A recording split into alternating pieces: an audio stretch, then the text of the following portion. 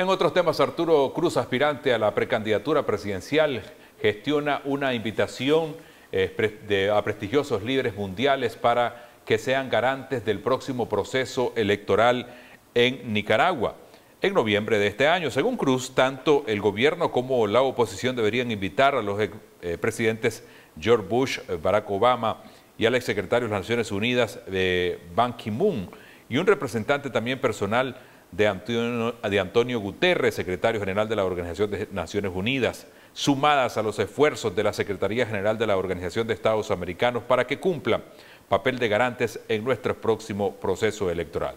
En las elecciones de 1990 se logró un traspaso pacífico del poder por la aceptación del gobierno sandinista de la observación internacional.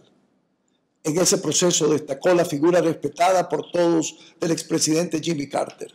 que junto con Baena Suárez, secretario general de la OEA, y Elliot Richardson, representante personal del secretario general de la ONU, actuaron como garantes de ese proceso electoral.